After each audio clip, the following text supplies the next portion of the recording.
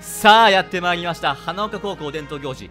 第456回。絶対に話が途切れない校長 VS 絶対に話を聞き逃さない生徒の全校集会です。来ましたね。今回は第87代校長伝田岩道先生とその教え子たち。花岡高校の現役生徒との一戦です。スターティングメンバーはこちら。3年の花尾選手。2年の和賀選手。編集者の真子選手。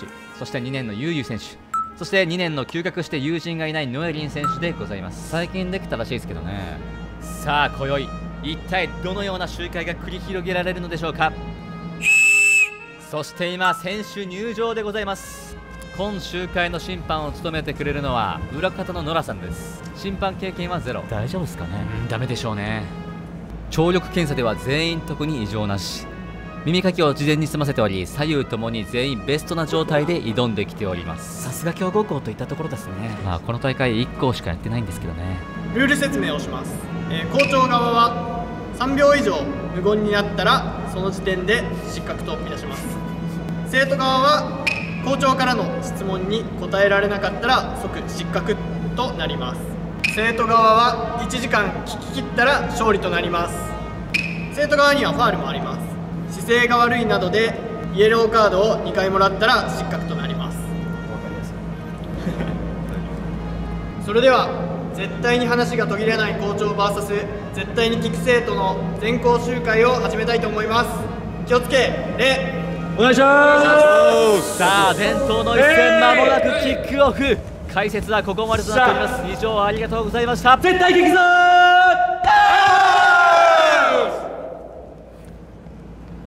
それでは試合を開始します。よーい。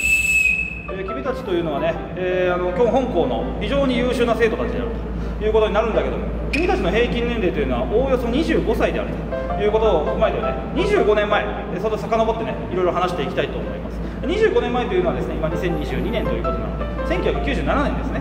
1997年というのは何の年でしょうかね。そうサスケが始まった年。でございます。サスケというものはですね1997年に第1回大会、えーファーストステージクリアが32人ということですね。セカンドステージもね今ではないステージもいっぱいあったんですけども、えー今の、えー土台になったステージとして有名なのがスパイダーウォーク。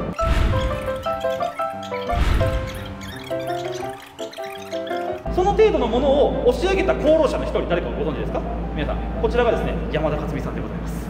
いやこちらがね山田勝美さんでございます。山田勝美というのはですねあの長野誠並びに漆原裕二、えー森本裕介秋山和彦、えーこの辺りのメンバーに比べてですね非常に成績が劣っているということになるんですけどもあのこれ完全制覇者ですね今の、えー完全制覇者になるんですけども山田勝美というのはですね一回も完全制覇したことないんですね、えー唯一ファイナルステージに行ったことあるのが第3回大会ということなんですけども山田勝美がサスケで一番すごい功労者なんですよ。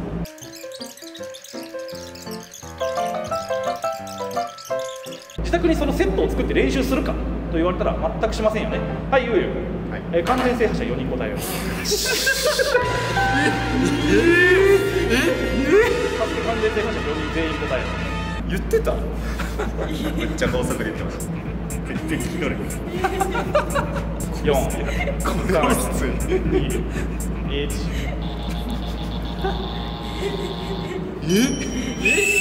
きつい1きつやば理不尽が過ぎるやろ。しかもお前時差攻撃やめてほんまに。怖いやでもあの私話しましたからあのだあのソ校長や答えはですねあの秋山和彦第4回大会6秒残し第17回大会、えー長野誠第24回第27回の漆原裕二第32と38の森本裕介この4人でございます。ということであのゆうゆう君、えーなんで君がね留年してるか分かりました。話を聞いてないから。じゃあね。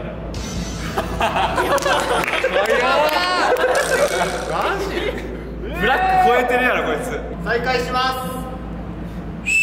えーそれをもってですね第2回大会が終わってから、えースパイダーウォークのせ自作セットを作ったんですけど山田勝美というのはですね自作セットを作ったにもかかわらずそこまでいけなかったステージがいっぱいあるんですよね。その中でですねカーテンクリンクまずカーテンクリンククライミングバークライミングバーそして下りランプラスパーこの3つこの下り3つなんですよねあのこれ非常にねあの出やすいので皆さん覚えておいてくださいいやいや今出してだったら今出してくれよでこの3つもももっといっぱいあるんですよジャンピングバーとかねジャンピングバーとかいろいろあるんですけども功労者だったということですはい真子くんはい。えー山田勝美が本番で使わなかったのに自作さえ自作した、えーステージ4つ答えようカーテンクリーム。え具体ランプグラスバー。ジャンピングバー。あと一つよ。あと一つ言うえーっとね分からへんまああの4個中3個答えれたということなんですけどもある程度話聞いてるという私の認定でイエローカードはいということであの姿勢なりな並びにがもう一つ整ってなかったらあなたはこのたこの学校退学と。再開しまはい、ということで第4回大会の話に戻るんですけどもね。第4回大会というのは毛ガニの秋山が完全制覇した年でございます。この時にですね完全制覇する時のファイナルステージ。これを覚えておいてくださいね。ファイナルステージは砂登り15メートルをなんと30秒で登れこれがファイナルステージのミッションでございます。これを24秒で登り切ったつまり6.0秒残した。これすごいことなんです、はい、これがですねあの1999年の秋に起こったことなんですけど皆さん1999年の秋といえば何があったか覚えてますか？覚えてますかね？それがですね1999年の9月9日。こちらモーニング娘。ラブマシン発売、えーそれでですね1999年9月15日。あ嵐がハワイでデビュー会見。1999年11月3日、えー嵐が嵐で CD デビューということになってしまってですねここからですねアイドル大ブーム。さあここでノエリーえー山田勝美がえーファイナルステージに行ったのは第何回大会？ファイナルステージ第3回。はい、ということで素晴らしいえー君はですね非常に話を聞いておられる。素晴らしい。マジで素晴らしいそれで2003年時を同じくして阪神タイガース。2003年時を同じくして阪神タイガース。2003年ね優勝します。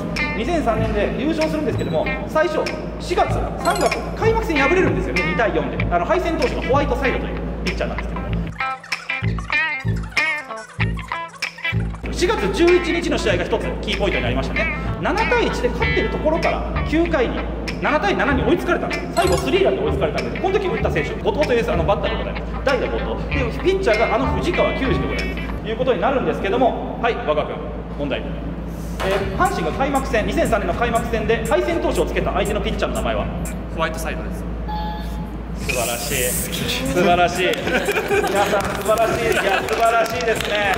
ということでねあの気抜いてる孫君気抜いてる孫君あのねあのサスケ、えー、秋山和彦、えー最終的に何秒残しで、えーファイナルステージクリアした。ここで来る6秒残し。素晴らしい。6秒残し素晴らしい、えーそれではですね、えー花尾君はい。花尾君問題です。えーラブマシン。発売されたのは何月何日？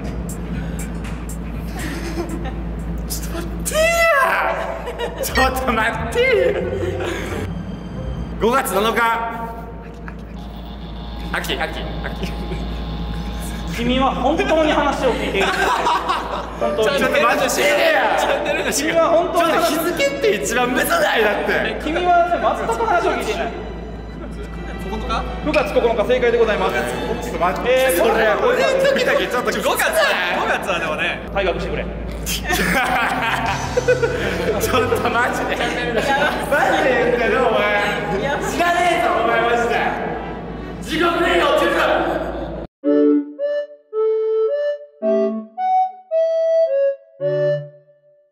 2003年の4月11日というのはですね7対7で終わりそのまま延長戦に向かいます。その後8回にアリアスの犠牲フライで1点を勝ち越すんですけども8回の裏あの12回の裏に高橋由伸のソロホームラン結局8対8の引き分けに終わってしまいます。はいということで我が君問題です。4月11日4月11日ジャイアンツ戦。9回の裏に同点ホームランを打ったジャイアンツの選手は誰？5 4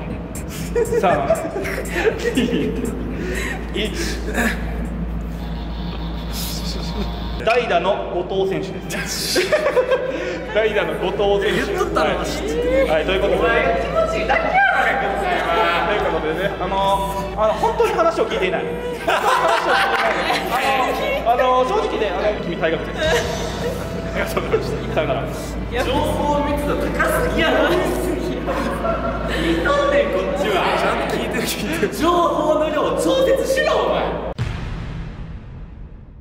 最近ねキャッシュレス決済というのがあるんですね。知ってます？キャッシュレス決済2018年の12月4日から PayPay というね、えーキャッシュレス決済がですねあの100億円のサービスをすると言ったんですよ。PayPay で使った金の総額今までの総額が100億に超えるまで皆さんにキャッシュバックしていきます。20%するとですねなんとたった10日間で100億達成と。いうことになりましてこのキャッシュレス決済のキャンペーンが非常に大バズりしたんですよ。ペイペイというサービスはですね。ちょっと後後発組なんですよ。でもこういうキャンペーンを成功させたことによって爆発的に利用者の数を拡大させまして2019年1月には人口400万人突破ということでございますね。はい2018年、えータイガース何位ですか？最下位。素晴らしい。阪神タイガースは最下位でございますね。この時の監督は誰？金本さん。素晴らしい金本監督でございますね。はいということでノエリンちゃん問題です。えー、っと漆原裕二が、えーえーサスケで完全制覇したのは第何回大会と第何回大会。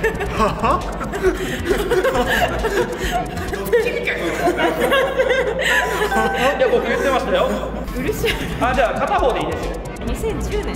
2010年の1月1日です。こあれもう24え違う。間違えた間違えた。正解素晴らしい。第24回大会ですね、えー、漆原裕二が完全制覇してます山田勝美さんで第12回大会、えー、長野誠がですね、えー残り0秒2 0秒2秒ぐらいであ完全制覇を逃した時ですね。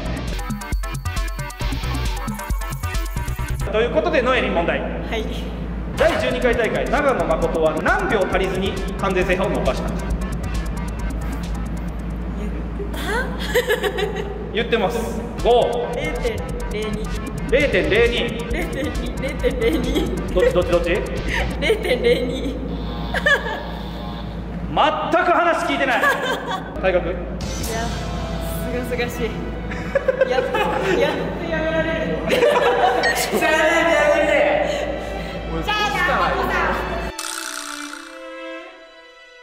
赤星が2002 2002年はですね2割5分2厘。この数字を覚えておいてくださいね。打率2割5分2厘。檜山2割9分3厘。はい覚えておいてくださいね。金本選手はまだねなんと広島にいましたこの時。広島にいました。ホームラン、えー打率2割7分4厘。ホームラン29本。ここ覚えておいてくださいね。出ますからね。ホームラン29本ですよ。2002年のこの秋大会。最後にね山田勝美が1人ゼッケン残して1人だけチャレンジするわけですよ。サードステージ。このパイプスライダー。最後に山田勝美チャレンジしてジャンプするんですけどもこの時落ちてしまいます。この時の実況。闇夜に山田一人ぼっち。はいこのセリフね。あの僕大好きなセリフなんですよね。あのはいということで、えー問題です。はい。山田勝美闇闇夜に山田一人ぼっちと言った時は何年の話でしょう2002年素晴らしい。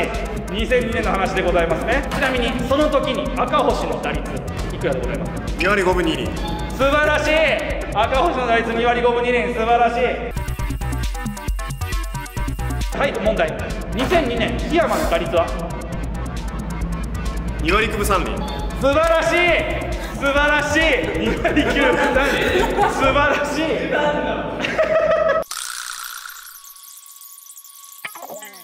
なんでさっきの中村豊はアウトなのに？残り10分です。はい、えー、中村豊はアウトにもかかわらずなんでこっちがセーフなんだなんでこっちがセーフなんだマコ君問題。はい。2003年の4月11日巨人戦。この巨人戦では12回の裏にホームランを打った巨人の選手は誰？あ高橋由伸素晴らしい。素晴らしい。あ高橋由伸ですね高橋由伸がホームラン打ちました。素晴らしい。素晴らしい。これでもダメか。素晴らしい。あの2005年、えー9月7日の試合、えー非常に特筆すべき試合でした、えー、マコ君問題ですーはいえー2005年の、ね、9月7日、えー阪神対中日戦、9回の表にタイムリーを打った選手は誰？そんなにそれ。荒木さんそれは中日の選手やろ、お前、阪神の選手が打ったか打ってないか聞いとんねん、お前、お前、最後まで残っといて、ええ面見せとると見せかけて、全然話聞いとらんやんけ、はい、タイガース、さよなら。まあまあまあまあまあ。いいっすこんな学校マジで。もうもう一人でずっと喋ってくれいなくなったね。お前だけ楽しいやろな。お前、お前話聞いてんのか。はい。はい、聞いてんねんな。はい聞いてんねんな。はい。聞いてる？はい。で2005年の9月7日の阪神対中日戦。あの9回裏に三塁ランナーからホームインしてセーフになった中日の選手誰？荒木。それ打った選手やでお前。お前ランナーはアレックスやろ。お前ランナーはアレックスやろ話全然聞いてないな。初見やろ。ほんまに話聞いてないやつしかおらんわ。この学校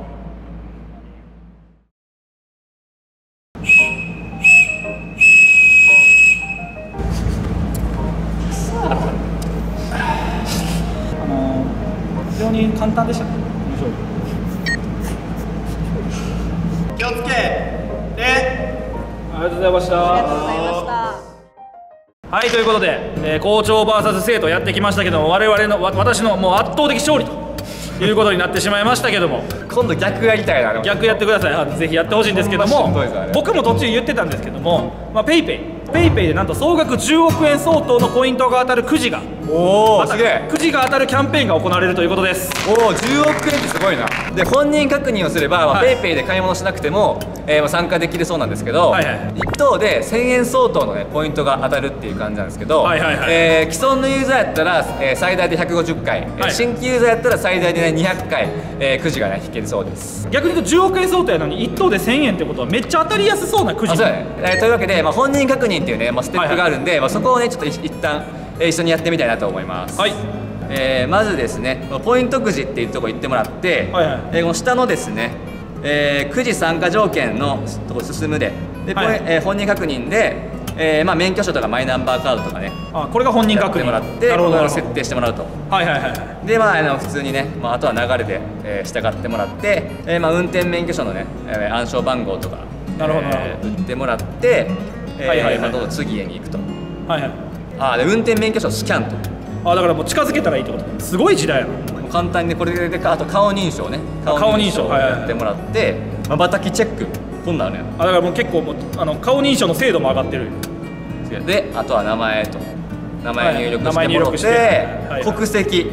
ジャパン選んでもらって、世界的に行われてるのかそういうことか。そういうことやった。でご職業ね。はいはいはい。職業を選んでもらって、えーまあ、これでちょっと本人確認の申請をしてもらうとこれでね、えー本人確認の工程は終了ということでございます、はいはい。あこれでだから20結構20回すでにくじ引けるようになるってこと？まあ、そういうことです。ねで。あと他にも、まあ、簡単なミッションがね13個くらいありまして、まあ、はいそれをクリアすることで、えーこのねくじくじ引きの権利がもらえます。なるほど、まあ、じゃあミッションとか楽しそうやな、であとキャンペーンページっていうのがあって、はいえーまあ、ここでもね、まあ、簡単な内容をクリアすることによって、はいはい。えーくじ引きがね1回できるようになってします。なるほど。でこれは1いい。日1回、えーできるということらしいです。で、まあ、キャンペーン訪問の他にも、まあ、いろんな、ね、ミッションがあるんで、はいはい。あのほんま簡単にね毎日こうクーポン、えー取得するだけとかねいろんな簡単なミッションがあるんで、まあ、そちらの方もねぜひチャレンジしてみてください。でチャレンジ期間は6月1日の、えー9時から6月20日までとなっております。20日間くじ引きができる期間っていうのもあってくじ引きできる期間が6月24日の9時からは6月30日までです。なんで、えーまだね PayPay ダウンロードしてないよっていう人は、はい。えーこれを機会にぜひねダウンロードしてみてください、はい。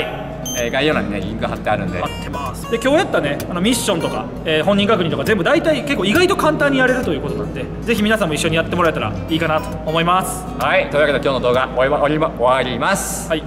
ご視聴ありがとうございました。ありがとうございましたまあそれ考えたら今日の俺側は無理やでお前。